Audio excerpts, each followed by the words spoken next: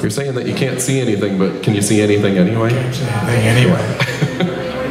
well, good afternoon.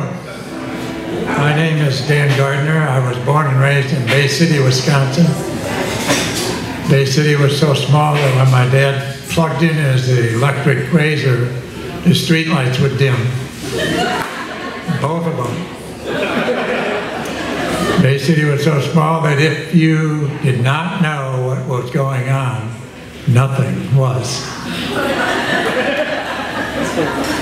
Bay City was so small that we did not have a town drunk.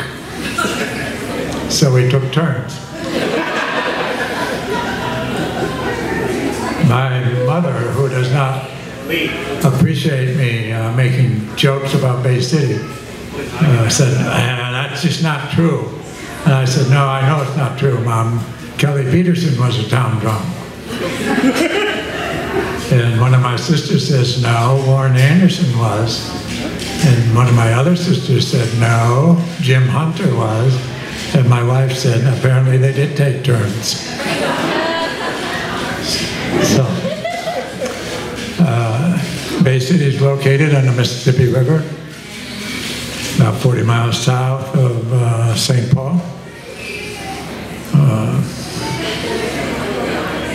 if you go up I-90, 94, the, uh, you will come to a sign, you know, that says Madison, next six exits, and they will come to another sign that says Bay City, no exits. Can't get there.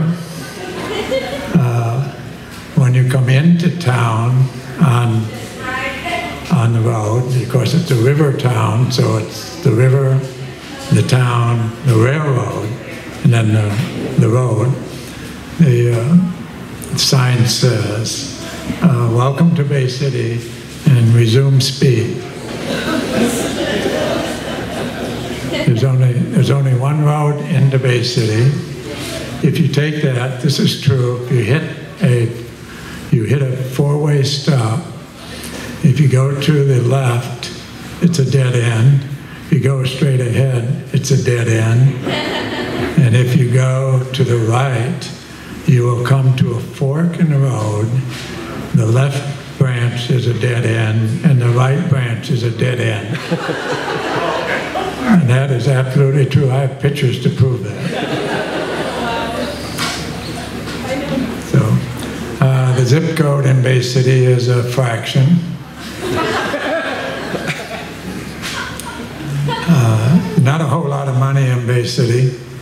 The economic development group came to town and went door to door to survey the uh, economic position and found out that 47% of the houses did not have doors. now, just because you're poor doesn't mean you're not share your what you have. So one of our neighbors put a box on their porch for Goodwill to come. Goodwill came and took the porch. we were so poor that when my when we came home from school, my mom would show us a picture of a Hostess Twinkie.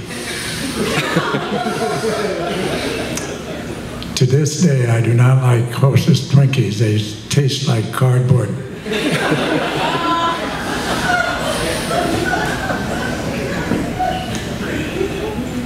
Not everybody in Bay City was poor. Uh, one of our neighbors uh, put a carpet in their bathroom, and they liked it so well they ran it all the way into the house. I'll let you explain that to your younger kids.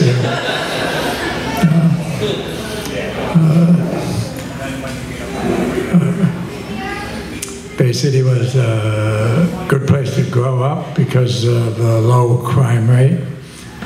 Uh, the reason there was a low crime rate because there wasn't any place to go that you were not supposed to go.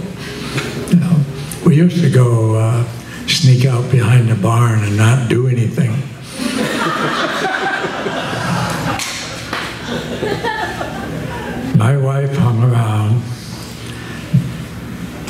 Bay City Square so long that she finally finally married him.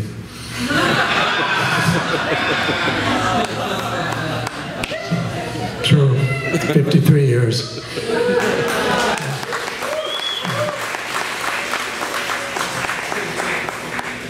And one of our best products was Lee Gardner. Very proud.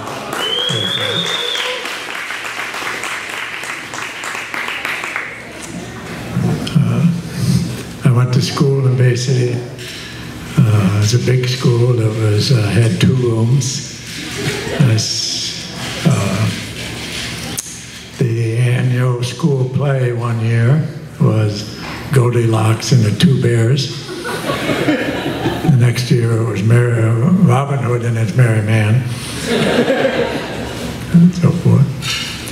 Uh, I was the only male in the eighth grade class, and uh, I made the softball team.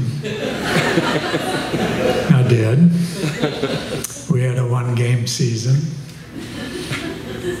lost it.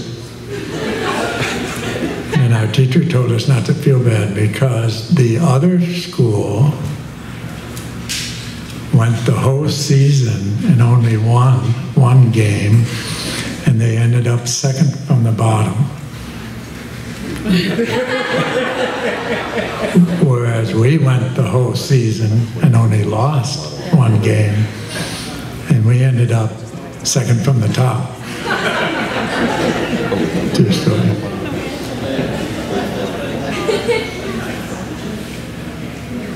So, if you're interested in visiting Bay City, I would recommend you do it during the tourist season, which is July 13th, from 2 to 4. Yes. Thank you very much. You've been very kind.